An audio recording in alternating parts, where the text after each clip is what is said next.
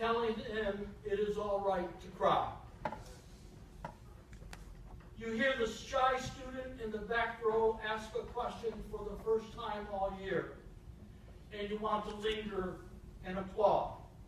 But you go on with your lecture anyway, knowing that if you give the moment too much attention, she may never come out from behind that rock again. But the main reason we exist professors, is to help explain pieces of the world and to show students the harvest of a particular field. We caution, inspire, but most of all try to make students believe, often without ever saying so, that learning itself is the thing, that learning separates us from the beasts of prey, that human beings are at their best when we seek to understand.